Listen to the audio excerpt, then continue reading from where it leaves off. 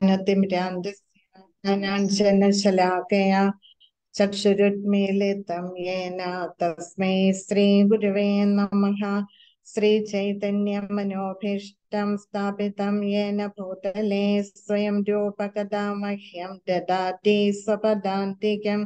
വന്ദേഹം ശ്രീഗുരോ ശ്രീയുതാപദകമലം ശ്രീഗുരുൻ വൈഷ്ണവാംശ്ച श्रीरूपं साग्रजातं सहगणरघुनाथान्वितं तं सजीवं साद्वैतं सावधूतं परिजनसहितं कृष्णचैतन्यदेवं श्रीराधाकृष्णपादान् सहगणललिता श्रीविशाखान्वितांश्च पञ्चतत्त्वात्मकं कृष्णं भक्तरूपस्वरूपकं भक्तावतारं भक्ताख्यं नमामि भक्तशक्तिकम् हे कृष्णा करुणा सिन्धो दीनबन्धो जगत्पते गोपेश गोपिका कान्ता राधा कान्त नमोऽस्तु ते तप्त काञ्चन गौराङ्गी राधे वृन्दावनेश्वरी वृषभानुसुते देवी प्रणमामि हरिप्रिये।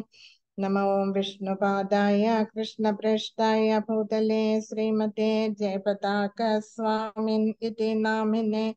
नमो माचार्यपादाय निताय कृपाप्रदायिने गौरकथाधामदाय नगरग्रामदारिणे।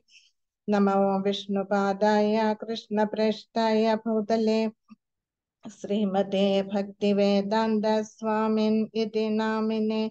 नमस्ते सरस्वती देवे, गौरवाणी प्रचारिणे। निर्विशेषशून्यवादी पाश्चात्यदेशतारिणे जय श्री कृष्ण चैतन्य प्रभु नित्यानंद श्री अद्वैत गदाधर श्रीवासादि गौर भक्त वृंद कृष्णाय वासुदेवाय, देवकी नंदनाय च नंद गोपकुमाराय गोविन्दाय नमो नमः। मूकं करोति वाचालं, भङ्गुं लङ्घयते, गिरिं यत्कृपातमहं वंदे, श्रीगुरुं दीनतारिणम्। പരമാനന്ദമാധവം ശ്രീ ചൈതന്യമീശ്വരം ഹരേ കൃഷ്ണ ഹരേ കൃഷ്ണ കൃഷ്ണ കൃഷ്ണ ഹരേ ഹരേ ഹരേ രാമ ഹരേ രാമ രാമ രാമ ഹരേ ഹരേ ഹരേ കൃഷ്ണ ഹരേ കൃഷ്ണ കൃഷ്ണ കൃഷ്ണ ഹരേ ഹരേ ഹരേ രാമ ഹരേ രാമ രാമ രാമ ഹരേ ഹരേ ഹരേ കൃഷ്ണ ഹരേ കൃഷ്ണ കൃഷ്ണ കൃഷ്ണ ഹരേ ഹരേ हरे राम हरे राम राम राम हरे हरे नीलाचल निवासाय नित्याय परमात्मने श्रीबलभद्र सुभद्राभ्यां जगन्नाथाय ते नमः ॐ नमो भगवते वासुदेवाय ॐ नमो भगवते वासुदेवाय ॐ नमो भगवते वासुदेवाय ഹരേ കൃഷ്ണ. ഇന്ന് നമുക്ക് കാർത്തിക മാസത്തെ കുറിച്ച് മനസ്സിലാക്കാം. അത് കഴിഞ്ഞിട്ട് നമുക്ക് മൂന്നാം അധ്യായത്തിന്റെ സ്റ്റോറിയിലേക്ക് കടക്കാം.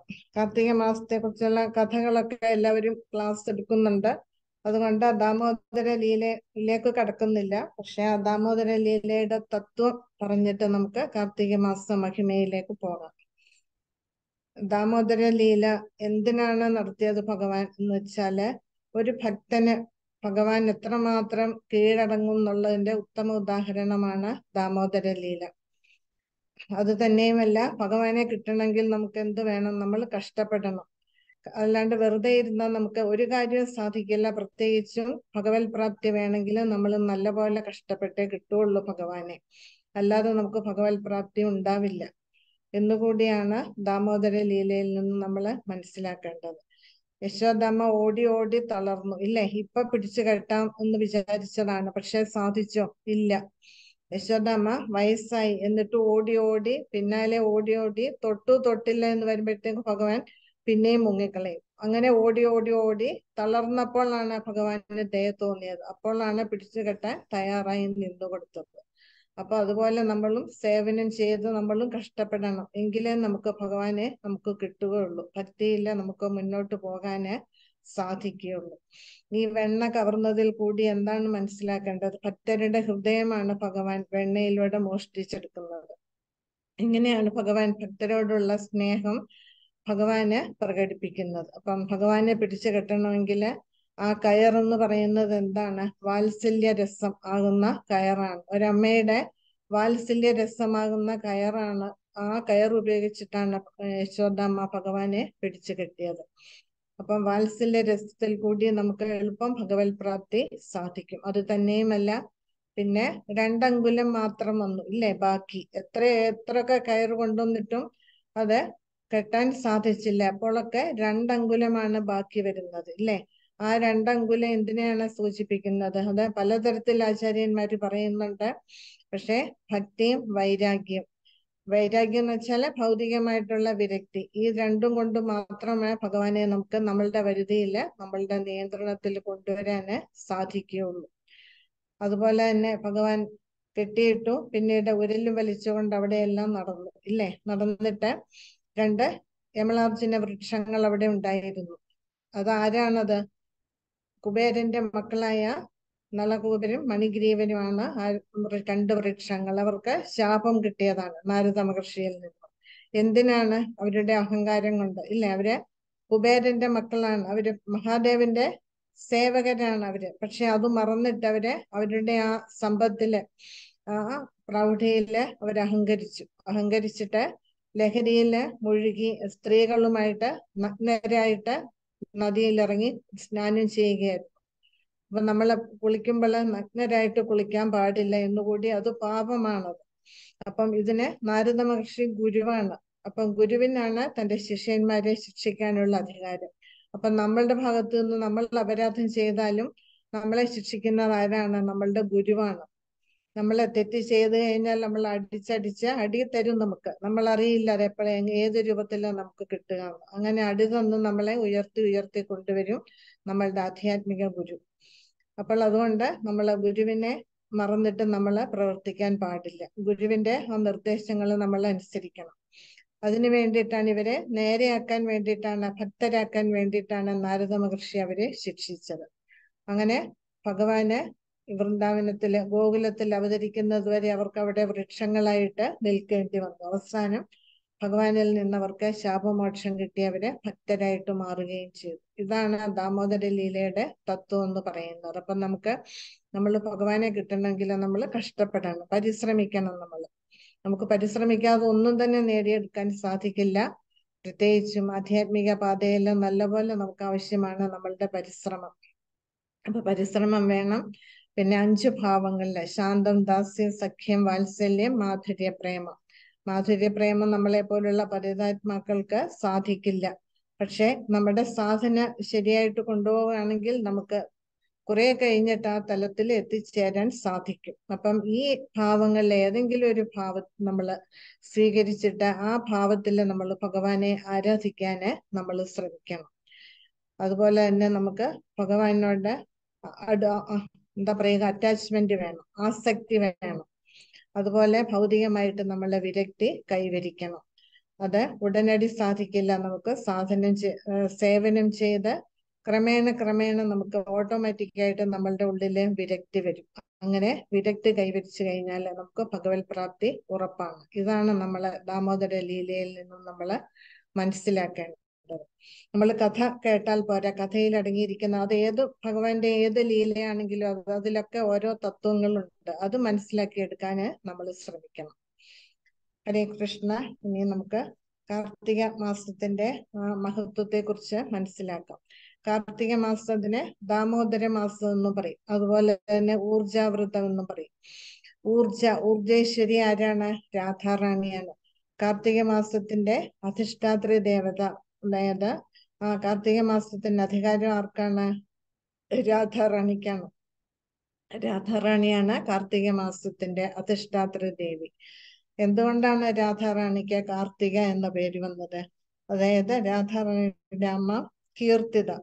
കീർത്തിതയുടെ മകളായതുകൊണ്ടാണ് രാധാറാണിക്ക് കാർത്തിക. അതുകൊണ്ടാണ് ഈ മാസത്തിന് കാർത്തിക മാസം എന്ന പേര് വന്നത്. കാർത്തിക മാസത്തിന്റെ മഹത്വത്തെ കുറിച്ച് പത്മപുരാണത്തിൽ ധാരാളം കാര്യങ്ങൾ പറയുന്നുണ്ട്. ഒരുപാട് കാര്യങ്ങൾ പത്മപുരാണത്തിൽ വിശദീകരിക്കുന്നുണ്ട്. അപ്പം മാസങ്ങളിൽ നമുക്കറിയാം ചാതുർമാസ്യം ഏറ്റവും പ്രധാനമാണ്. ആ ചാതുർമാസ്യങ്ങളിൽ വെച്ചിട്ട് ഏറ്റവും പ്രധാനമാണ് ഏത്? കാർത്തിക മാസം എന്ന് പറയുന്നത്. അതുപോലെ പുരുഷോത്തമ മാസം വളരെ പ്രധാനമാണ്. പുരുഷോത്തമ മാസത്തിൽ പുരുഷോത്തമനാണ് പ്രാധാന്യം ഇല്ലേ? അതുപോലെ കാർത്തിക മാസത്തിലെ രാധാറാണിക്കാണ് പ്രാധാന്യം. ഊർജേശ്വരി ഊർജം എന്ന് പറഞ്ഞാൽ അതിന് ശക്തി പിന്നെ ഒപ്പുലൻസ് അതുപോലെ തന്നെ വെൽത്ത് സമ്പത്ത് ഇതൊക്കെ അർത്ഥമുണ്ട്.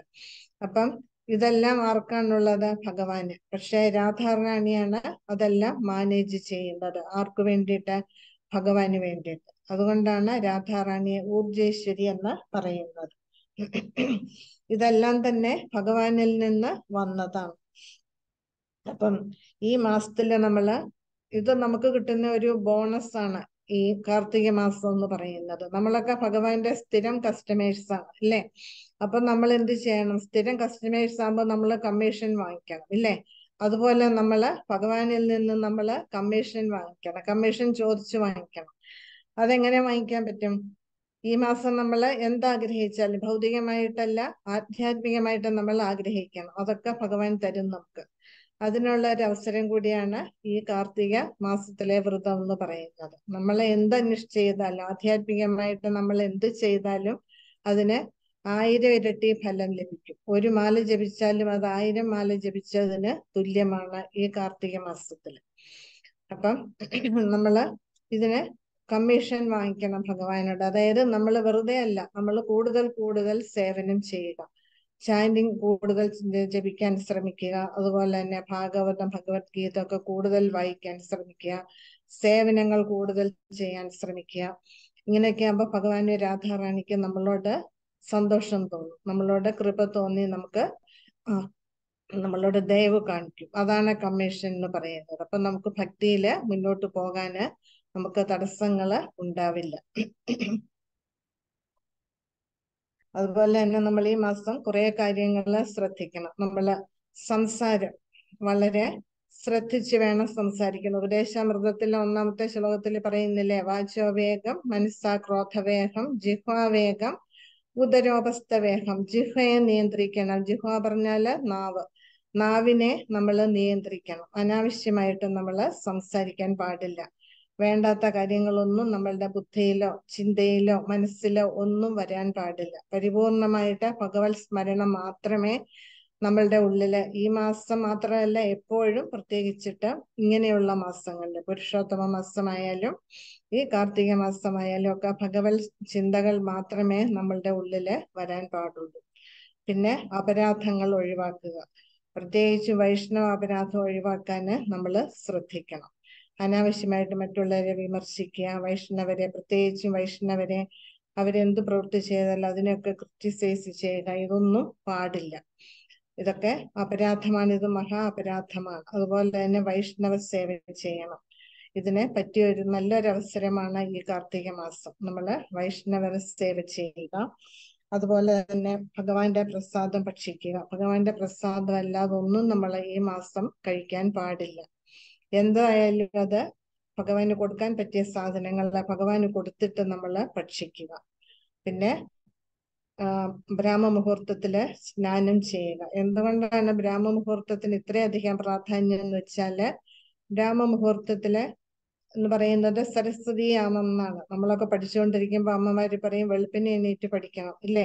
എത്ര ഉറക്കമാണെങ്കിലും തണുപ്പായാലും വെളുപ്പിനെ വിളിച്ചുണർത്തും അപ്പോൾ പഠിച്ച് എന്തുകൊണ്ടാണ് നമ്മളുടെ ബുദ്ധിയിൽ അത് നിൽക്കുന്നത് ആ സമയത്ത് പഠിച്ചു കഴിഞ്ഞാൽ അതിന്റെ പ്രധാന കാരണം എന്ന് പറഞ്ഞാൽ അന്തരീക്ഷത്തിലെ പോസിറ്റീവ് എനർജി ധാരാളം ഉണ്ടാകും.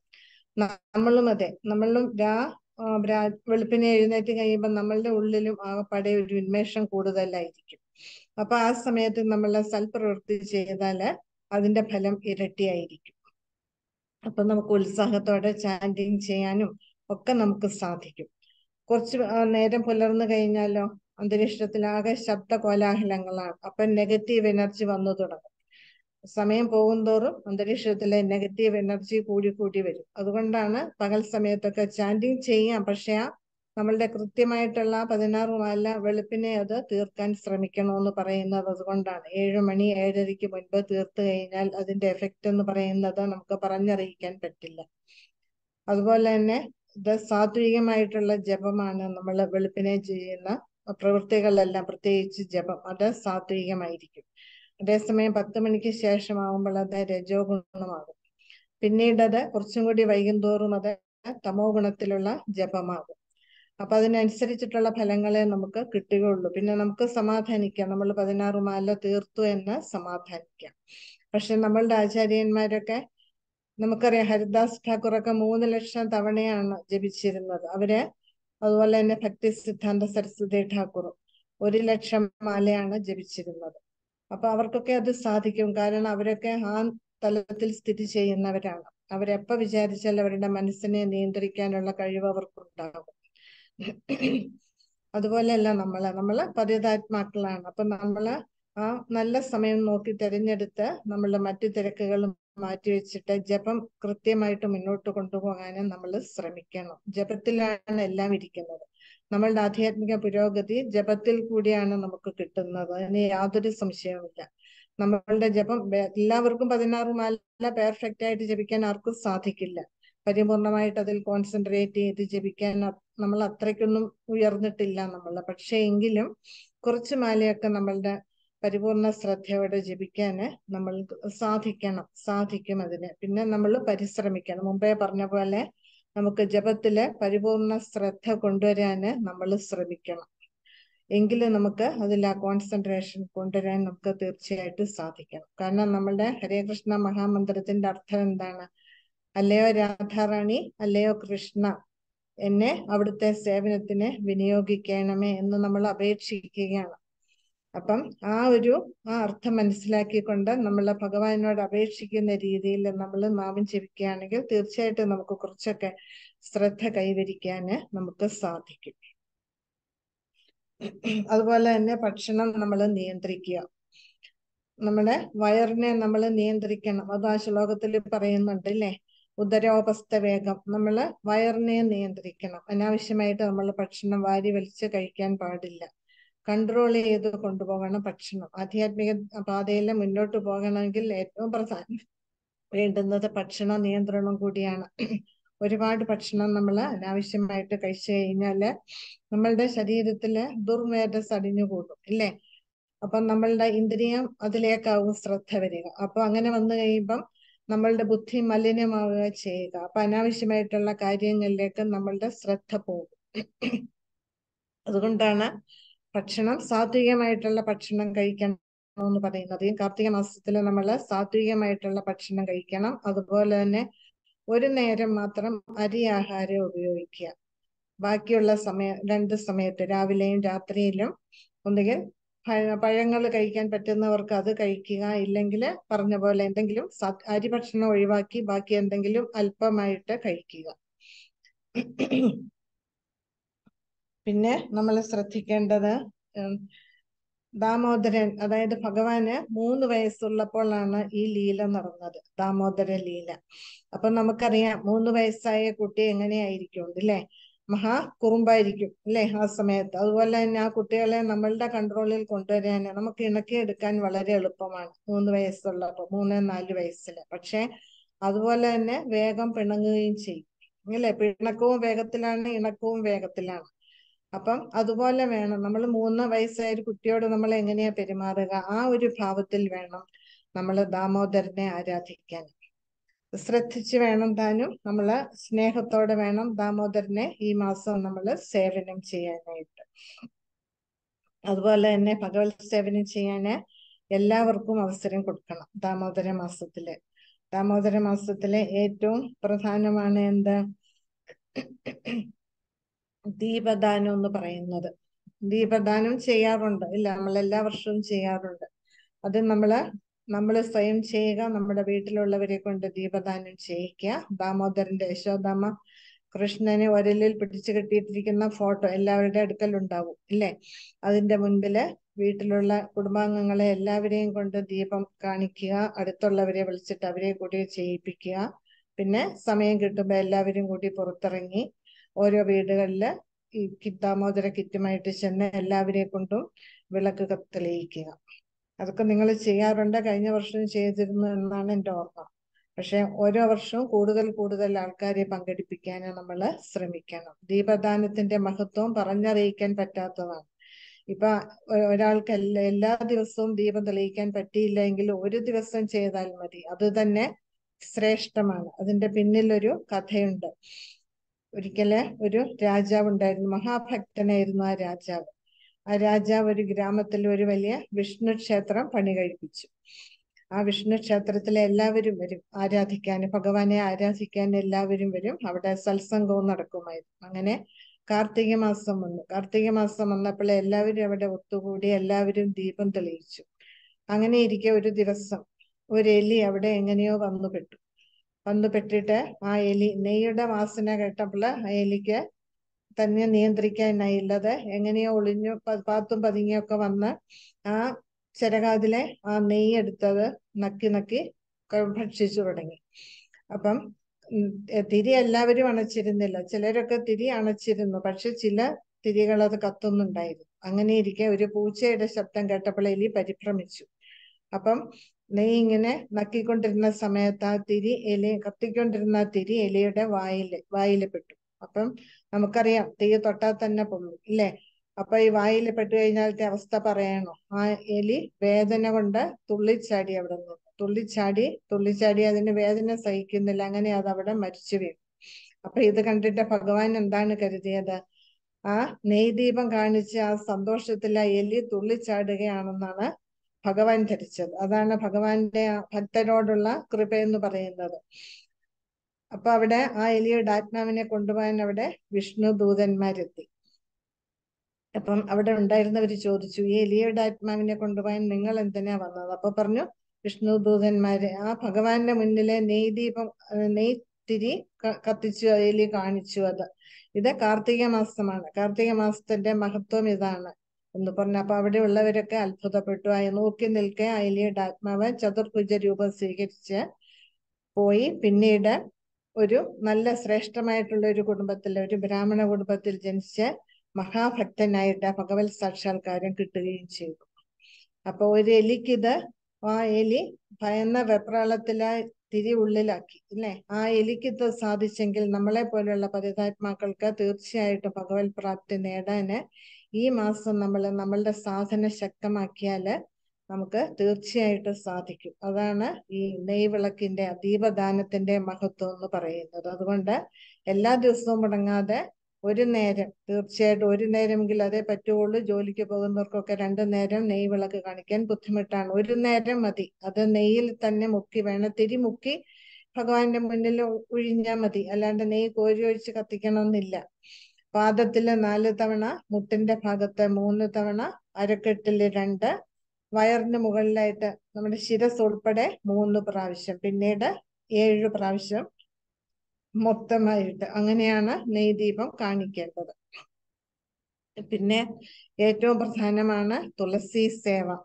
നമ്മളെല്ലാവരും തുളസി ആരതി ചെയ്യാറുണ്ട്. പക്ഷേ എങ്കിലും കാർത്തിക മാസത്തിൽ തുളസി ആരതിയുടെ മഹത്വം വളരെ വളരെ വളരെ പ്രധാനമാണ്.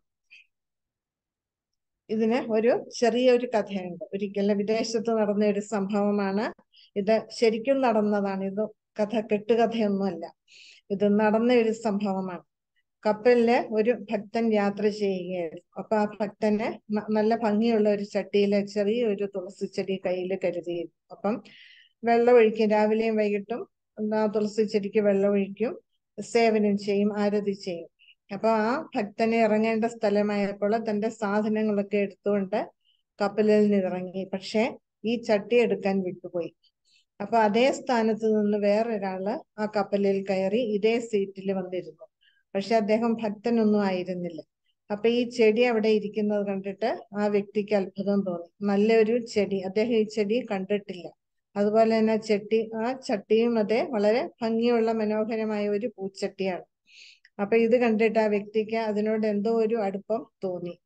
അദ്ദേഹം ആ ചെടിക്ക് വെള്ളമൊഴിച്ചു തനിക്ക് ഇറങ്ങേണ്ട സമയമായപ്പോൾ അദ്ദേഹം ആ ചെടിയും കൂടെ ആ ചട്ടിയോടെ ആ ചെടി തന്റെ വീട്ടിൽ കൊണ്ടുപോയി വെച്ചു. അപ്പൊ അദ്ദേഹത്തിന് അറിയില്ല ഇത് തുളസിയാണെന്നോ തുളസിയുടെ മഹത്വമോ ഒന്നും അദ്ദേഹത്തിന് അറിയില്ല. കാരണം അവിടെ ഈ വീടുകളിലെ ഈ തുളസി ചെടി ആരും വളർത്താറില്ല. അതുകൊണ്ട് അപ്പൊ അദ്ദേഹം ഇത് എന്നും വെള്ളമൊഴിക്കും അങ്ങനെ ചെടി വളർന്നു അപ്പൊ അങ്ങനെ ഇരിക്കെ അദ്ദേഹം ദുർഗുണങ്ങളുടെ ഒരു വിളനിലമായിരുന്നു എന്ന് പറയാം. പക്ഷെ ഈ തുളസി സേവ കൊണ്ട് അദ്ദേഹത്തിന്റെ ആ ദുർഗുണങ്ങളെല്ലാം പോയി അദ്ദേഹത്തിന്റെ ഉള്ളിൽ ആധ്യാത്മികതയുടെ ഭക്തി കൈവരിക്കാൻ അദ്ദേഹത്തിന് സാധിച്ചു. അപ്പൊ അദ്ദേഹത്തിന് തോന്നി സനാതന ധർമ്മത്തെ കുറിച്ച് മനസ്സിലാക്കണം അതിനെ എവിടെ പോകും ആരിൽ നിന്നിത് അഭ്യസിക്കും എന്ന്. അദ്ദേഹം ഇങ്ങനെ അന്വേഷിച്ചു അന്വേഷിച്ച് അന്വേഷിച്ച് അദ്ദേഹം ഇസ്കോ ഒരു ഹരേ കൃഷ്ണ പ്രസ്ഥാനത്തിന്റെ ഇസ്കോൺ ടെമ്പിളിൽ അദ്ദേഹം എത്തിച്ചേർന്നു. അപ്പൊ ആ ടെമ്പിളിന്റെ കോമ്പൗണ്ടിലേക്ക് കടന്നപ്പോൾ അദ്ദേഹം കണ്ടത് എന്താ? അദ്ദേഹം തന്റെ വീട്ടിൽ താൻ വളർത്തുന്ന ചെടികൾ അവിടെ ധാരാളം നിൽക്കും ഇത് കണ്ടപ്പോ അദ്ദേഹത്തിന് അത്ഭുതമായി. അപ്പൊ അവിടെയുള്ള ഒരു ഭക്തനോട് ചോദിച്ചു ഇത് ഇത് ഏത് ചെടിയായത്? ഇത് എന്റെ വീട്ടിൽ ഞാൻ വളർത്തുന്നത്. അപ്പൊ പറഞ്ഞു എനിക്കിതിങ്ങനെ കപ്പലിൽ യാത്ര ചെയ്യുമ്പോൾ കിട്ടിയതാണ്. ഈ ചെടിയുടെ പേരെന്താണ്? എന്തിനാണ് നിങ്ങൾ ഇത് വളർത്തുന്നത്? എന്ന്. അപ്പൊ ആ ഭക്തന് പറഞ്ഞു കൊടുത്തു ഇത് തുളസി മഹാറാണിയാണ്. ഭഗവാന്റെ ഭക്തയാണ്. അപ്പൊ തുളസി സേവയുടെ മഹത്വങ്ങളൊക്കെ പറഞ്ഞു കൊടുത്തു അദ്ദേഹത്തിന്. അപ്പോൾ അദ്ദേഹത്തിന് എന്തെന്നില്ലാത്ത ഒരു അത്ഭുതമാണ് ഉണ്ടായത്. കാരണം താൻ ഇത്ര വലിയൊരു ഭക്തയാണോ? താൻ അറിയാതെ ഇത്രയും നാൾ ഞാൻ സേവനം നടത്തിയത് സേവിച്ചത്. അങ്ങനെ അദ്ദേഹം പരിപൂർണമായിട്ട് അവിടെ ആ ടെമ്പിളിൽ വരികയും ഭക്തിയുടെ സേവനത്തിൽ ഏർപ്പെടുകയും മഹാഭക്തനായിട്ട് മാറി. ഇന്നും സന്യാസ ദീക്ഷ എടുത്ത ഇന്നും ഇസ്കോണിൽ വലിയ സ്ഥാനത്തിരിക്കുന്നു ആ ഭക്തൻ. അപ്പം തുളസി സേവയുടെ മഹത്വം എത്രയാണെന്ന് നമുക്ക് പറഞ്ഞറിയിക്കാൻ സാധിക്കില്ല. അതുകൊണ്ട് നമ്മൾ നിത്യവും ഒരു നേരം എപ്പോഴാ സൗകര്യം എന്ന് വെച്ചാൽ കാർത്തിക മാസം ഒന്നും നോക്കാതെ നമ്മൾ തുളസി ആരതി ചെയ്യണം. ഒരു ചട്ടിയിലെ തുളസി നട്ടുപിടിപ്പിക്കാൻ അത്ര ബുദ്ധിമുട്ടൊന്നുമില്ല. നമ്മളുടെ കാലാവസ്ഥയിൽ നമ്മുടെ നാട്ടിലെ തുളസി ധാരാളം പിടിക്കുകയും ചെയ്യും.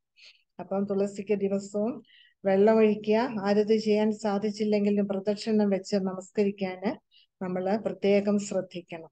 തുളസി എന്ന് വെച്ചാൽ മഹാഭക്തയാണ്. തുളസി മഹാറാണിയുടെ അനുഗ്രഹം കൊണ്ടും രാധാറാണിയുടെ കൃപ കൊണ്ട് മാത്രമേ നമുക്ക് ഭഗവത് പ്രാപ്തി ഉണ്ടാവുകയുള്ളൂ. അതുകൊണ്ട് തുളസി സേവ നമ്മൾ ചെയ്യണം. പ്രത്യേകിച്ചും കാർത്തിക മാസത്തിൽ ശ്രീല പ്രഭുപാദരുടെ പ്രഭുപാദന്റെ ഒരു ഡിസൈപ്പിൾ ചോദിച്ചു. കാർത്തിക മാസത്തിലെ എന്തൊക്കെയാണ് ചെയ്യേണ്ടത് പ്രഭുപാദ എന്തൊക്കെയാ ചെയ്യണം? നമ്മൾ കൂടുതൽ മാല ജപിക്കണോ? എന്തൊക്കെയാ ചെയ്യണം അപ്പൊ പ്രഭുപാദര് പറഞ്ഞു ജപം മാത്രം മതി ഒരു മാസം. ഭക്ഷണവും വേണ്ട ഒന്നും വേണ്ട.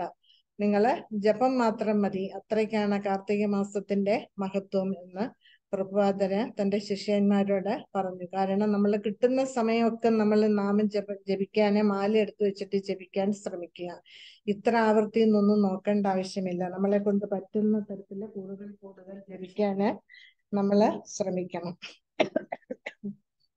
പിന്നീട് നമ്മൾ ശ്രദ്ധിക്കേണ്ടത് ഉദ്യാപനം എന്ന് പറയും. ഉദ്യാപനം എന്ന് വെച്ചാൽ നമുക്ക് ഇഷ്ടപ്പെട്ട ഏറ്റവും പ്രിയപ്പെട്ട ഒരു വസ്തു നമ്മൾ ഉപേക്ഷിക്കുക. നമ്മൾ ഏറ്റവും പ്രിയം എന്ന് വെച്ചാൽ നമ്മൾ ഭഗവാനെ പിന്നെ നമ്മളുടെ കുടുംബം. അത് ഉപേക്ഷിക്കണം എന്നല്ല നമുക്ക് എന്തെങ്കിലും ഭക്ഷണ പദാർത്ഥങ്ങളോ അല്ലെങ്കിൽ വസ്ത്രമോ ഏറ്റവും ഇഷ്ടം അത് മാറ്റി വെക്കുക. ഈ ഒരു മാസം പ്രത്യേകിച്ച് ഇഷ്ടപ്പെട്ട ഭക്ഷണം അത് മാറ്റി വെക്കുക. അതാണ് ഏറ്റവും നമ്മൾ ചെയ്യേണ്ടത്. അത് ഈ ഒരു മാസം കഴിക്കില്ല എന്ന് വെക്കുക.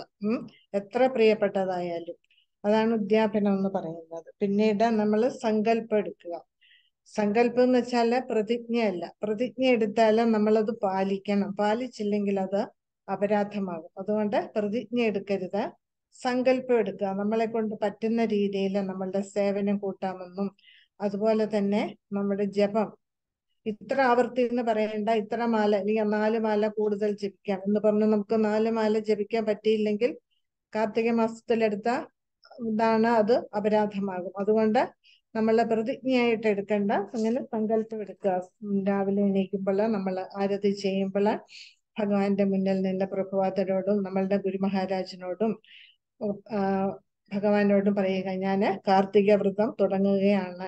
എനിക്കത് മംഗളകരമായിട്ട് അത് പൂർത്തിയാക്കാൻ എന്നെ അനുവദിക്കണം എന്ന് നമ്മൾ അപേക്ഷിക്കുക അവരോട് മൂന്ന് പേരോട്.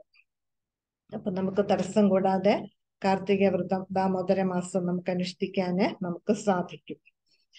അതുപോലെ തന്നെ കൂടുതൽ ശ്ലോകങ്ങൾ ഗീതയിലെയും ഭാഗവതത്തിലെയും ചൈതന്യ ചരിതാമൃതം ഒക്കെ കൂടുതൽ കൂടുതൽ വായിക്കാൻ ശ്രമിക്കുക. മുമ്പേ പറഞ്ഞ പോലെ വൈഷ്ണവ സേവ വളരെ പ്രധാനമാണ്.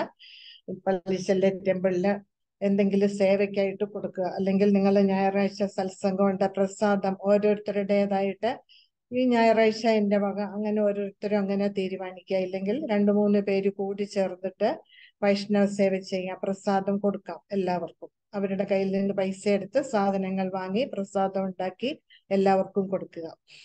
അങ്ങനെ ചെയ്യാം. ഇതിന്റെയൊക്കെ ഫലം നമുക്ക് ആയിരം അല്ല പതിനായിരം മടങ്ങാണ് നമുക്ക് കിട്ടുക. നമുക്ക് ഭക്തിയിൽ മുന്നോട്ട് പോകാൻ സാധിക്കും. ഭൗതികമായിട്ട് നമുക്ക് നേട്ടങ്ങൾ ഉണ്ടാകും. ഈ മാസം നമ്മൾ ശരിയായിട്ട് ആചരിക്കുകയാണെങ്കിൽ. ഇതെല്ലാം പത്മപുരാണത്തിൽ പറയുന്നുണ്ട്. അത് പറയാനാണെങ്കിൽ നമുക്ക് രണ്ടു ദിവസം പോരാ. അതുപോലെ പത്മപുരാണത്തിലെ കാർത്തിക മാസത്തിന്റെ മഹത്വത്തെ കുറിച്ച് പറയുന്നുണ്ട്. അതുപോലെ തന്നെ ദീപദാനം കൊണ്ട് നമുക്ക് നമ്മളുടെ ഉള്ളിലെ പാപങ്ങൾ പോകാൻ നമുക്ക് സാധിക്കും. ഇത് നല്ലൊരു അവസരമാണിത് നമ്മളൊക്കെ പാപികളാണ്. നമുക്ക് ആർക്കും പറയാൻ പറ്റില്ല ഞാൻ പാപം ചെയ്തിട്ടില്ല എന്ന്. നമ്മൾ പാപം ചെയ്തിട്ടില്ലെങ്കിൽ നമ്മൾ ഈ വേഷത്തിൽ ഇവിടെ ഇരിക്കില്ല ഇല്ലേ? അച്ഛന്റെ അമ്മയുടെ ഭാര്യയുടെ ഭർത്താവിന്റെ മുത്തച്ഛന്റെ മുത്തശ്ശിയുടെ ഒക്കെ വേഷം ധരിച്ച് നമ്മൾ ഈ ഭൗതിക ലോകത്തിൽ ഇരിക്കില്ല. നമ്മൾ ഭഗവാന്റെ അടുക്കൽ ഉണ്ടാവുമായിരുന്നു. അപ്പൊ നമ്മളൊക്കെ പാപികളാണ്. ആർക്കും പറയാൻ പറ്റില്ല. നമ്മൾ പാപിയല്ല പാപം ചെയ്തില്ല എന്ന്. നമ്മൾ പാപം ചെയ്തിട്ട് തന്നെയാണ് ഈ ഭൗതിക ലോകത്തിൽ വന്നിരിക്കുന്നത്. അപ്പൊ ആ ജന്മ ജന്മാന്തരങ്ങളായിട്ട് നമ്മൾ അറിഞ്ഞും അറിയാതെയും ഒക്കെ ചെയ്ത പാപങ്ങൾ ഇല്ലായ്മ ചെയ്യാന് ഈ കാർത്തിക മാസത്തിലെ ദീപദാനം ദീപദാനം കൊണ്ട് നമുക്ക് സാധിക്കും. അതുപോലെ തന്നെ ആയിരം അശ്വമേധം ചെയ്ത അശ്വമേധ യജ്ഞം ചെയ്ത ഫലം ലഭിക്കും ഈ ദീപദാനം കൊണ്ട്. ഒരു ദീപദാനം കൊണ്ട്. അപ്പം ഈ നമ്മൾ ഈ മാസം മുഴുവൻ ദീപം തെളിയിച്ചാൽ അത് ഭക്തിയോടെ ചെയ്യണം ആത്മാർത്ഥമായിട്ട് ശ്രദ്ധയോടെ ചെയ്യണം. അല്ലാതെ ഒരു വഴിപാട് നടത്തുന്ന മാതിരി ആവരുത്. ഇതൊക്കെയാണ് കാർത്തിക മാസത്തിന്റെ മഹത്വങ്ങൾ നമ്മൾ ചെയ്യേണ്ടത്. ബാക്കിയൊക്കെ എല്ലാവരും ഓരോ ക്ലാസ് എടുക്കുന്നതുകൊണ്ട് ഞാൻ അതിലേക്ക് കടക്കുന്നില്ല. ഇനി നമുക്ക് ഒരു കഥ പറയാം. കാർത്തിക മാസവുമായിട്ട് ബന്ധപ്പെട്ട ധാരാളം കഥകളുണ്ട്. അതിലെ ഒരു കഥ പറയാം. ഹരിദ്വാറിനടുത്ത് മായാപൂർ എന്ന് പറയുന്ന ഒരു ഗ്രാമം ഉണ്ടായിരുന്നു. അവിടെ ദേവശർമ്മ എന്ന പേരിലുള്ള ഒരു ബ്രാഹ്മണൻ ജീവിച്ചു. അദ്ദേഹം മഹാഭക്തനാണ്. വേദങ്ങളും എല്ലാം പഠിച്ച് അതിൽ അറിവുള്ള ഒരു വ്യക്തിയാണ്. അത് തന്നെയുമല്ല പണ്ഡിതനാണ് അദ്ദേഹം. മറ്റുള്ളവർക്ക് ഇതെല്ലാം പറഞ്ഞു കൊടുക്കുകയും ചെയ്യും എല്ലാ വ്രതങ്ങളും ഏകാദശി കാർത്തിക മാസം പുരുഷോത്തമ മാസം അങ്ങനെ ഭഗവാനുമായിട്ട് ബന്ധപ്പെട്ട എല്ലാ വ്രതങ്ങളും ആ ബ്രാഹ്മണൻ അനുഷ്ഠിക്കുമായിരുന്നു. അദ്ദേഹത്തിന് ഒരു ശിഷ്യനുണ്ട്. ചന്ദ്രശർമ്മൻ എന്നാണ് ആ ശിഷ്യന്റെ പേര്. ആ ശിഷ്യനും തന്റെ ഗുരുവിനെ പോലെ തന്നെയാണ്. മഹാഭക്തനാണ്. എല്ലാ കാര്യങ്ങളും ഗുരു ചെയ്യുന്നത് മാതിരി അത് കണ്ടിട്ട് അതേപോലെ തന്നെ ശിഷ്യൻ ആത്മാർത്ഥമായിട്ട് ഭഗവാന്റെ സേവനങ്ങൾ എല്ലാം ചെയ്യും ഗുരുവിനെയും സേവിക്കും. അതുപോലെ തന്നെ ഈ ദേവശർമ്മന് ഒരു മകളുണ്ടായിരുന്നു. ആ മകളുടെ പേര് ഗുണവതി എന്നാണ്. ആ പേര് പോലെ തന്നെ ഗുണവതിയായിരുന്നു ആ മകളും. മകളും മഹാഭക്തിയായിരുന്നു. അപ്പൊ ഇവർ മൂന്ന് പേരും കൂടി ചേർന്നിട്ടാണ് ഭഗവാന്റെ ഭക്തിയുടെ സേവനം ചെയ്തു പോന്നിരുന്നത്. അപ്പം ഈ ദേവശർമ്മൻ എന്ത് ചെയ്തു? ഒരു ദിവസം ഈ തന്റെ ശിഷ്യനെയും മകളെയും തമ്മിൽ വിവാഹം കഴിപ്പിച്ചു. അപ്പം ആ കുടുംബത്തിലെ മൂന്ന് പേരും ഭക്തരായി. ഭക്തരായി അവർ ഒരുമിച്ച് എല്ലാ കാര്യങ്ങളും ഏകാദശി വ്രതം അനുഷ്ഠിക്കുന്നതും ഒരുമിച്ച് കാർത്തിക മാസം വ്രതം അനുഷ്ഠിക്കുന്നതും ഒരുമിച്ച്. ഇങ്ങനെ എല്ലാ കാര്യങ്ങളിലും ഇവർ ഒത്തൊരുമയോടെയാണ് ഭഗവാന്റെ സേവനങ്ങളൊക്കെ ചെയ്തു പോന്നിരുന്നത്. അങ്ങനെ ഇരിക്കെ കുറെ നാൾ കഴിഞ്ഞൊരു ദിവസം കുശപ്പുല്ല് കുശ എന്ന് പറഞ്ഞാൽ ദർഭ ദർഭപ്പുല്ല് ശേഖരിക്കാനായിട്ട് ദേവശർമ്മനും ഈ ചന്ദ്രശർമ്മനും കൂടിയിട്ട് ഹിമാലയത്തിന്റെ ആ കാടുകളിലേക്ക് പോയി. കാടുകളിൽ പോയി അവർ ഈ കുശപ്പുല്ല് ശേഖരിച്ചിരിക്കുന്ന ആ സമയത്ത് അവിടെ ഒരു നരഭോജിയായിട്ടുള്ള ഒരു രാക്ഷസൻ അവിടെ വന്നു. ഇവരെ കണ്ടു. ഇവരെ കണ്ടപ്പം അയാൾക്ക് മനസ്സിലായി ഒരു ബ്രാഹ്മണരാണ്. അപ്പം എന്ത് ചെയ്തു? ഇവരെ കൊന്ന്. ഇവർക്ക് ചെറുത്തു നിൽക്കാനായില്ല. കാരണം രാക്ഷസനാണ്. ആരുടെ ശക്തിക്ക് മുന്നിൽ ഇവർക്ക് പിടിച്ചു നിൽക്കാൻ പറ്റിയില്ല. ഇവരെ കൊന്ന് ഭക്ഷിച്ചു.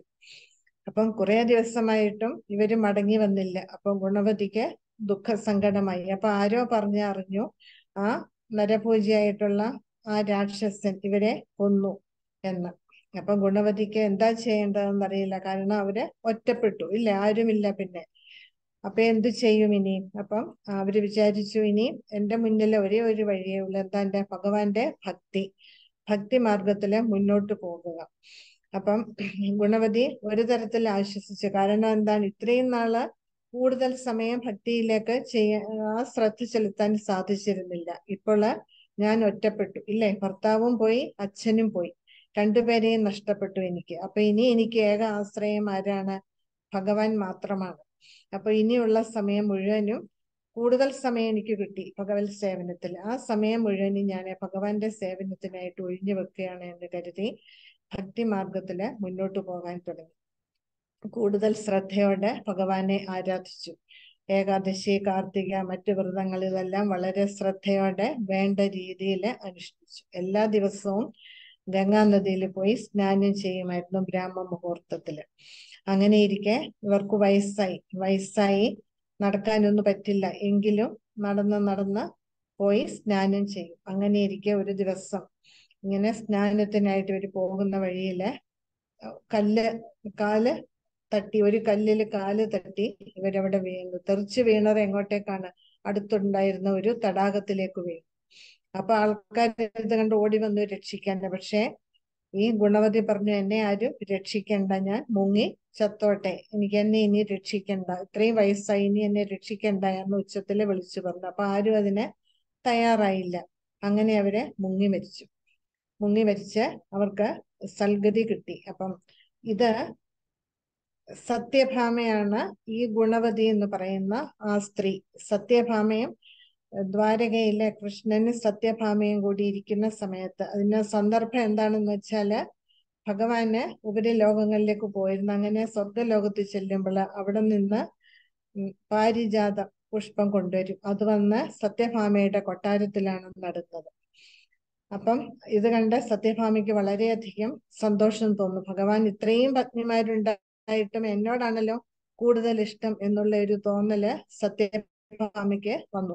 അപ്പൊ അതുകൊണ്ടാണ് സത്യമാ സത്യഭാമ കൃഷ്ണനോട് ചോദിക്കുന്നു ഞാൻ എന്തുകൊണ്ടാണ് ഞാൻ എന്ത് പുണ്യപ്രവൃത്തി ചെയ്തിട്ടാണ് മുജ്ജന്മത്തിൽ ഞാൻ എന്ത് പുണ്യപ്രവൃത്തിയാണ് ചെയ്തത്? അങ്ങയുടെ പത്നി പത്നിയാവാൻ തക്ക ഭാഗ്യം എനിക്ക് കിട്ടിയത്. അപ്പോൾ ഭഗവാന് ഈ കഥ സത്യഭാമിക്ക് പറഞ്ഞു കൊടുക്കും. നീ ആയിരുന്നു ആ ഗുണവതി എന്ന് പറയുന്ന സ്ത്രീ. അടുത്ത ജന്മം നീ സത്യഭാമിയായിട്ട് ജനിച്ചു എന്റെ പത്നിയായി എന്ന്. അപ്പം ഗുണവതി ചോദിക്ക സോറി സത്യഭാമ ചോദിക്കും അപ്പം ഈ കഴിഞ്ഞ ജന്മത്തിലെ എന്റെ പിതാവിനും അച്ഛനും എന്തു പറ്റിയെന്ന് അപ്പം കൃഷ്ണൻ പറയുന്നുണ്ട് നിന്റെ പിതാവാണ് ആര്?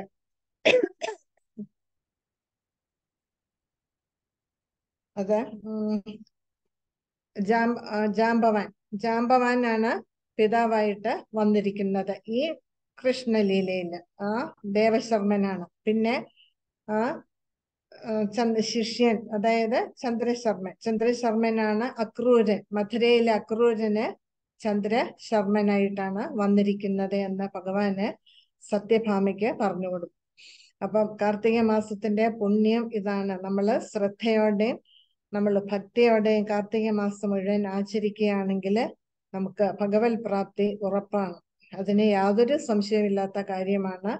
അതുകൊണ്ട് വളരെ ശ്രദ്ധയോടെയും ഭക്തിയോടെയും നമ്മൾ ഈ കാർത്തിക മാസം വ്രതം അനുഷ്ഠിക്കാനും അതുപോലെ സേവനം ചെയ്യാനും നമ്മൾ ശ്രദ്ധിക്കണം.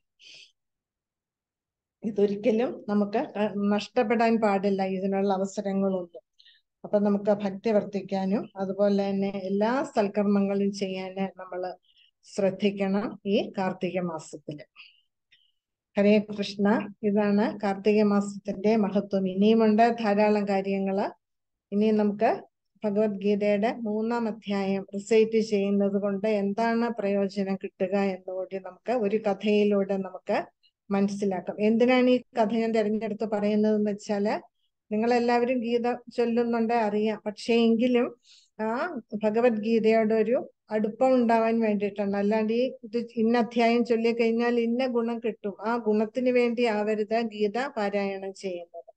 ആ ഭഗവത്ഗീതയോടൊരു ആസക്തി ഉണ്ടാവാൻ വേണ്ടിയിട്ടാണ് ഇത് ഞാൻ കഥകൾ ഓരോന്നിലെയും പറ്റുന്നിടത്തോളം എല്ലാത്തിന്റെയും കഥ എനിക്ക് കിട്ടുമോ എന്നറിയില്ല എങ്കിലും പറയുന്നത് അതിനു വേണ്ടിയിട്ടാണ്. അപ്പൊ ആ ഒരു തരത്തിലേ നിങ്ങളത് എടുക്കാവുള്ളൂ. അല്ലാണ്ട് ഗുണത്തിന് വേണ്ടിയിട്ട് നമ്മൾ ഒന്ന് ഭഗവാന്റെ കാര്യങ്ങളൊന്നും നമുക്ക് ഇന്ന പ്രയോജനം കിട്ടും. അതുകൊണ്ട് ഇന്നത് ചെയ്യാം. അങ്ങനെ നമ്മൾ ചിന്തിക്കാൻ പാടില്ല. അപ്പം ജഡ എന്നു പേരുള്ള ഒരു ബ്രാഹ്മണൻ ഉണ്ടായിരുന്നു. അദ്ദേഹം എല്ലാ ദുർഗുണങ്ങളുടെയും വിളനിലമായിരുന്നു ഈ ജഡ എന്ന് പറയുന്ന ബ്രാഹ്മണൻ. ഒരിക്കൽ അദ്ദേഹം ഒരു സ്ഥലത്ത് ഇങ്ങനെ പോയിട്ട് അവിടെ നിന്നും കുറെ പണം ഉണ്ടാക്കാൻ അദ്ദേഹത്തിന് സാധിച്ചു. അപ്പൊ തിരിച്ച് പൈസയൊക്കെ ഉണ്ടാക്കി അദ്ദേഹം വീട്ടിലേക്ക് വരികയാണ്. അപ്പൊ വരുന്ന വഴിക്ക് യാത്രയുടെ ക്ഷീണം കൊണ്ട് അദ്ദേഹം ഒരു മരത്തിന്റെ ചുവട്ടിൽ വിശ്രമിക്കാൻ തീരുമാനിച്ചു. അങ്ങനെ അവിടെ വിശ്രമിച്ചിരിക്കുന്ന സമയത്ത് അദ്ദേഹം ഉറങ്ങിപ്പോയി. അപ്പൊ അവിടെ ധാരാളം കൊള്ളക്കാരുണ്ടായിരുന്നു. അവർ ഇദ്ദേഹത്തെ വധിച്ചിട്ട് അദ്ദേഹത്തിന്റെ കയ്യിലുണ്ടായിരുന്ന സമ്പത്ത് മുഴുവൻ അവർ തട്ടിയെടുത്തു. അപ്പൊ ഇദ്ദേഹം ദിവസങ്ങളായി പോയിട്ട് വീട്ടിലേക്ക് മടങ്ങി വന്നില്ല. അപ്പൊ ഇദ്ദേഹത്തിന്റെ മകൻ അന്വേഷിച്ചിറങ്ങി. ഇദ്ദേഹത്തെ അന്വേഷിച്ചിറങ്ങി പലരോടും ചോദിച്ചു. തന്റെ അച്ഛനെ കണ്ടോ അച്ഛനെ കണ്ടോ എന്ന് ചോദിച്ചു. പക്ഷെ ആരും ഒന്നും മറുപടി പറഞ്ഞില്ല. മകനാണെങ്കിൽ അച്ഛന്റെ സ്വഭാവത്തിന് നേരെ എതിരായിരുന്നു. നല്ലൊരു സൽസ്വഭാവിയായിരുന്നു മകൻ ഭക്തനുമായിരുന്നു. അപ്പോൾ ഈ മകൻ ഇങ്ങനെ കുറെ നടന്ന് നടന്ന് എല്ലാവരുടെയും തിരക്കി തിരക്കി തിരക്കി ചെന്നപ്പോൾ ഒരു വ്യക്തി പറഞ്ഞു നിന്റെ അച്ഛനെ ഇങ്ങനെ കൊള്ളക്കാര് കൊന്നു കയ്യിലുണ്ടായിരുന്ന പൈസ സമ്പത്തൊക്കെ തട്ടിയെടുത്ത് കൊണ്ടുപോയി എന്ന്. ഇത് കേട്ടപ്പോഴേ മകന് വളരെ സങ്കടം തോന്നി. ഇനി എന്തു ചെയ്യും? എന്താണ് ഞാൻ ഇനി അച്ഛന് വേണ്ടി ചെയ്യേണ്ടത്? അദ്ദേഹം എന്തു ചെയ്തു? ശ്രാദ്ധമൂട്ടാൻ തീരുമാനിച്ചു. തന്റെ പിതാവിന്റെ സൽഗതിക്ക് വേണ്ടിയിട്ട് ശ്രാദ്ധമൂട്ടാന് ഗയയിൽ പോയി ഗയാ ശ്രാദ്ധമൂട്ടാന് തീരുമാനിച്ചു. അങ്ങനെ ഗയയിലേക്ക് ആ മകന് യാത്ര ചെയ്യുകയാണ്. യാത്ര ചെയ്ത് അദ്ദേഹം കുറെ യാത്ര ചെയ്ത് ക്ഷീണിച്ച് അദ്ദേഹം ഒരു വൃക്ഷത്തിന്റെ ചുവട്ടിൽ വന്നിരുന്നു. അവിടെ വിശ്രമിച്ചിരിക്കുന്ന സമയത്ത് കുറെ കഴിഞ്ഞപ്പോൾ അദ്ദേഹം എന്ത് ചെയ്തു? ഇങ്ങനെ അദ്ദേഹം ഭക്തനാണല്ലോ അപ്പൊ എപ്പോഴും ഭഗവത് സ്മ സ്മരണ ഉണ്ടാവും. ഇപ്പം ഗീതയിലെ ഭഗവത്ഗീതയിലെ മൂന്നാം അധ്യായത്തിലെ ശ്ലോകങ്ങൾ അവിടെ ഇരുന്നു കൊണ്ട് ചൊല്ലി ഉരുവിട്ടു തുടങ്ങി. ഇങ്ങനെ ചൊല്ലി ചൊല്ലി ഇരുന്നു അവിടെ. അപ്പം ആ വൃക്ഷം ഇരുന്ന വൃക്ഷം ഏതാണെന്ന് വെച്ചാൽ അത് ഈ കുട്ടിയുടെ പിതാവ് ഇരുന്ന ആ മരിച്ചു കിടന്ന അതേ വൃക്ഷത്തിന്റെ ചുവട്ടിലാണ് ഈ മകനും വന്നിരുന്നത്.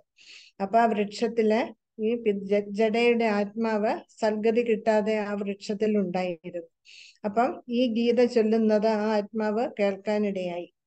ആത്മാവ് കേൾക്കാനിടയായി എന്ന് മാത്രമല്ല ആ ആത്മാവിനെ ചതുർഭുജ രൂപം കിട്ടി. ആത്മാവ് വൈകുണ്ഠത്തിലേക്ക് കൊണ്ടുപോകാന് വിഷ്ണു ദൂതന്മാർ അവിടെ എത്തി. അവിടെ എത്തി. ആത്മാവിനെ കൊണ്ടുപോവുകയാണ്. അപ്പം ജഡ ഇതൊന്നും അറിയുന്നില്ല. സോറി ജഡയല്ല മകൻ മകൻ ഇതൊന്നും അറിയാതെ അത് ചൊല്ലിയിട്ട് അവിടെ നിന്ന് എഴുന്നേറ്റ് വീണ്ടും നടക്കാൻ തുടങ്ങി. അപ്പം ആ സമയത്ത് ആത്മാവ് ആ മകനെ വിളിച്ചിട്ട് പറഞ്ഞു ഞാൻ നിന്റെ പിതാവിന്റെ ആത്മാവാണ്. നീ നീ ഗയയിൽ പോയി ശ്രാദ്ധം കൂട്ടേണ്ട ആവശ്യമൊന്നുമില്ല. നീ ഗീതാ ശ്ലോകം മൂന്നാം അധ്യായത്തിലെ ശ്ലോകങ്ങൾ നീ ഉരുവിട്ടല്ലോ. അതുകൊണ്ട് തന്നെ എനിക്ക് സൽഗതി കിട്ടി. ഞാൻ വൈകുണ്ഠത്തിലേക്ക് പോവുകയാണ്. എന്ന് പറഞ്ഞു. അങ്ങനെ മകനും സന്തോഷമായി മകൻ വീട്ടിലേക്ക് മടങ്ങി വന്നു. മടങ്ങുന്ന വഴിക്ക് ആ മകൻ ചിന്തിച്ചു. ഞാൻ ഈ ശ്ലോകം ഉരുവിട്ടത് കൊണ്ട് എന്റെ അച്ഛൻ ഇത്ര ദുർഗുണനായിരുന്ന അച്ഛന്റെ ആത്മാവിനെ സൽഗതി കിട്ടി വൈകുണ്ഠത്തിൽ പോയി. അപ്പം ഞാൻ ഈ ശ്ലോകം ഈ ശ്ലോകങ്ങൾ ഞാൻ നിത്യവും പാരായണം ചെയ്യുകയും മറ്റുള്ളവരെ കൊണ്ട് ഇത് പാരായണം ചെയ്യിക്കുകയും ചെയ്യുകയാണെങ്കിൽ എല്ലാവർക്കും സൽഗതി കിട്ടില്ല. എനിക്കും കിട്ടും മറ്റുള്ളവർക്കും സൽഗതി കിട്ടുമല്ലോ എന്ന് കരുതി അദ്ദേഹം ദിവസവും ഈ മൂന്നാം അധ്യായത്തിലെ ശ്ലോകങ്ങൾ എല്ലാവരെ കൊണ്ടും പാരായണം ചെയ്യിച്ചു. അത് തന്നെയുമല്ല തന്റെ പൂർവികർക്ക് സൽഗതി കിട്ടാൻ ഇത് കാരണമാകുകയും ചെയ്തു. അദ്ദേഹത്തിന്റെ കുടുംബത്തിലെ സൽഗതി കിട്ടാതിരുന്ന ആത്മാക്കൾ ആൻസിസ്റ്റേഴ്സിനെല്ലാം തന്നെ അവരൊക്കെ നരകത്തിൽ ഉണ്ടായിരുന്നവർക്ക് പോലും അവർക്ക് സൽഗതി കിട്ടി എല്ലാവരും പോയി. അപ്പൊ അങ്ങനെ വന്നപ്പോൾ നരകത്തിൽ ആരും ഇല്ലാതെയായി. എല്ലാവരും വൈകുണ്ഠത്തിലെത്തി. അപ്പം മഹാവിഷ്ണു വിചാരിച്ചു ഇത് എന്താണ് ഇതിന്റെ പിന്നിലെ? യമദാദൻ യമദൂതൻ സോറി യമരാജാവും വെറുതെ ഇരിക്കുകയാണ്. അപ്പൊ ഇതെന്താ ഇങ്ങനെയെന്ന് അന്വേഷിച്ചു. അപ്പൊ വിഷ്ണു യമരാജാവിനൊരു സന്ദേശം കൊടുത്തു വിട്ടു. ഇതെന്താ ഇങ്ങനെ? എന്താണ് സംഭവിച്ചത്? അപ്പൊ അന്വേഷിച്ചപ്പോഴാണ് ഇത് മനസ്സിലാകുന്നത്. ഈ ജഡയുടെ മകൻ എല്ലാവരെ കൊണ്ടും എന്തു ചൊല്ലിക്കുകയാണ്? ഗീതാ ശ്ലോകങ്ങൾ മൂന്നാം അധ്യായത്തിലെ ശ്ലോകങ്ങൾ എല്ലാവരെ കൊണ്ടും പാരായണം ചെയ്യിക്കുകയാണ്. അപ്പൊ എല്ലാവരും സൽഗതി കിട്ടി. ആത്മാക്കളൊന്നും നരകത്തിലേക്ക് വരുന്നില്ല. എല്ലാവരും വൈകുണ്ഠത്തിലേക്ക് പോവുകയാണ് എന്ന് മനസ്സിലായി. അങ്ങനെ എല്ലാവർക്കും മുക്തരാകാന് സാധിച്ചു. അപ്പൊ ഇതാണ് ഭഗവത്ഗീതയിലെ മൂന്നാം അധ്യായത്തിന്റെ മഹത്വം എന്ന് പറയുന്നത്. അപ്പൊ നമ്മൾ നിങ്ങൾ എല്ലാ ദിവസവും ഓരോ അധ്യായ ശ്ലോകങ്ങൾ വായിക്കാറുണ്ട്. എങ്കിലും ഇത് മുടങ്ങാതെ മുന്നോട്ട് കൊണ്ടുപോകാൻ നിങ്ങൾ ശ്രമിക്കുക. സമയം പോലെ ഓരോ അധ്യായം ഞാൻ മുമ്പൊരു ക്ലാസ്സിൽ പറഞ്ഞിരുന്നു. ഒരധ്യായം വായിക്കുക എന്നിട്ട് ഒരധ്യായത്തിന്റെ ആ ഒരു ശ്ലോകവും വേർഡ് ടു വേർഡ് മീനിങ് വിവർത്തനം ഭാവാർത്ഥം ഇങ്ങനെ വായിച്ചു പോകുമ്പോൾ നമുക്കത് മനസ്സിലാക്കി എടുക്കാനും സാധിക്കും. നമ്മളുടെ ഗീതാ പാരായണം വേഗം വേഗം നമുക്ക് തീർക്കാനും സാധിക്കും. അപ്പം എല്ലാവരും ഈ പാരായണം മുന്നോട്ട് പോ കൊണ്ടുപോവുക ഇത് മുടക്കരുത്. ഹരേ കൃഷ്ണ നീ കഴിഞ്ഞ ക്ലാസ്സിൽ ഒരു പ്രഭു സംശയം ചോദിച്ചിരുന്നു നൂറ്റിയെട്ടിന്റെ പ്രാധാന്യം എന്താണ്? ഇല്ലേ? ആധ്യാത്മികതയിൽ നമ്മൾ നൂറ്റിയെട്ടമാണ് നമ്മളുടെ ജപമാലയിലെ തുളസി മുത്തുകൾ എന്ന് പറയുന്നത്. ആ നൂറ്റിയെട്ട് ഞാൻ പറഞ്ഞിരുന്നു. ഉപനിഷത്ത് അത് ശരിയാണ്. പക്ഷെ ഇനിയും കൂടുതൽ കാര്യങ്ങളുണ്ട്. ധാരാളം ഇതിന്റെ അർത്ഥങ്ങൾ പലരും എടുക്കുന്നുണ്ട്. പക്ഷെ നമ്മളുടെ ആചാര്യനായ ജീവ ഗോസ്വാമി പറഞ്ഞിരിക്കുന്നത് എന്താണെന്ന് വെച്ചാൽ നൂറ്റിയെട്ട് നമുക്കറിയാം ഭഗവാന് കോടിക്കണക്കിന് ഗോപികമാരാണ്. അവരെല്ലാം ഓരോ ഗ്രൂപ്പുകളായിട്ട് തിരിച്ചിട്ടുണ്ട് അല്ലെ? അഷ്ടസഖികളെ മഞ്ചരികളെ തരുണിമണികളെ ഇങ്ങനെ പല വിഭാഗങ്ങളുണ്ട്. അവർക്ക് പല വിഭാഗങ്ങളുണ്ട്. ഗോപികമാർക്ക് അപ്പം ഇതിൽ ഏറ്റവും പ്രധാനം നൂറ്റിയെട്ട് ഗോപികകളാണ്. അതിൽ ഏറ്റവും പ്രധാനമാണ് അഷ്ടസഖികൾ എട്ട് പേര്. അപ്പം നൂറ്റിയെട്ട് പ്രതിനിധീകരിക്കുന്നത് ഈ നൂറ്റിയെട്ട് ഗോപികമാരെയാണ്.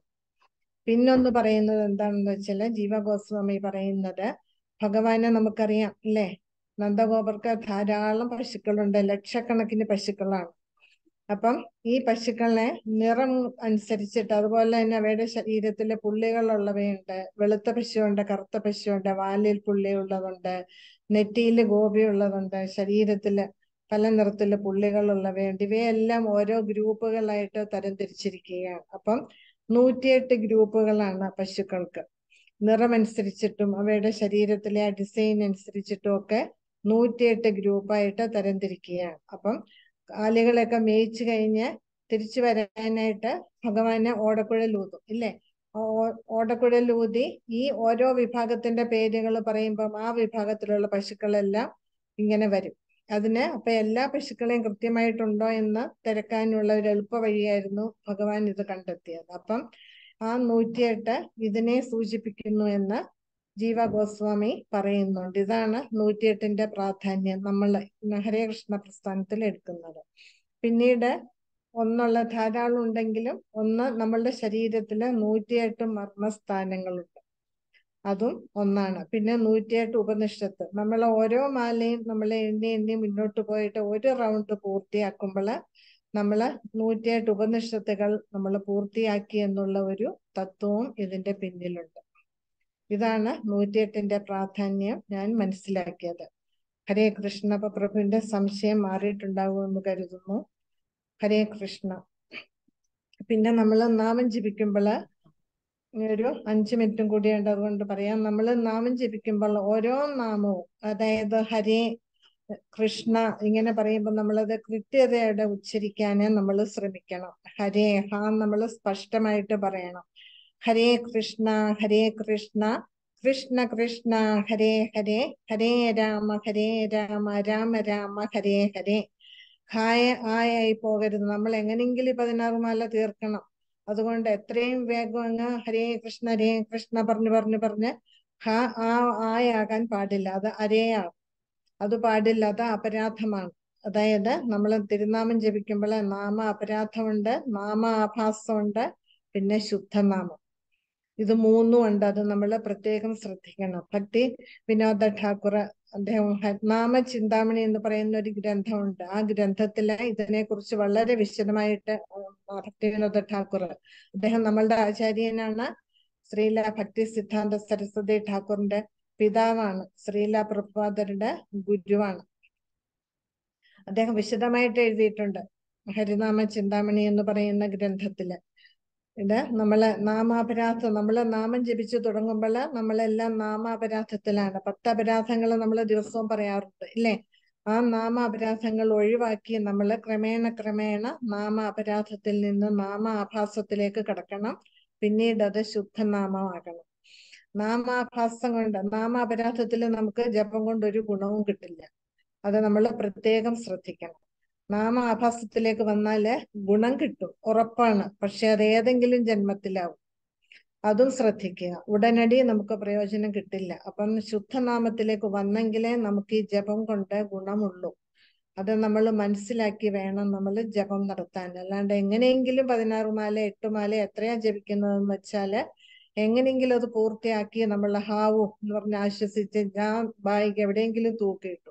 ഇന്നത്തെ പണി കഴിഞ്ഞു. അതല്ല വേണ്ടുന്നത് ഒരു മാല ജപിച്ചാലും ആത്മാർത്ഥതയോടെ ജപിക്കുക. അതാണ് വേണ്ടുന്നത്. ഒരു നാമം മതി. ഒരു നാമം കൊണ്ട് രക്ഷപ്പെട്ടവരുണ്ട് ഇല്ലേ നമുക്കറിയാം അജാമിളന്റെ കഥ. നാരായണ എന്ന തന്റെ മകനെ വിളിച്ചെങ്കിലും ഭഗവാൻ അത് ഭഗവാന്റെ നാമം ഉച്ചരിക്കുന്നതായിട്ട് തോന്നിച്ചു. അജാമിളന് രക്ഷ കിട്ടി. ഇല്ലേ അപ്പൊ ഒരു നാമം മതി. അത് നമ്മളെ ഭക്തിയോടെയും ശ്രദ്ധയോടെയും ആത്മാർത്ഥതയോടെയും വേണം നമ്മൾ ആ നാമം ജപിക്കാൻ. എങ്കിലേ നമുക്ക് ആ നാമജപം കൊണ്ട് ഗുണം വരികയുള്ളൂ.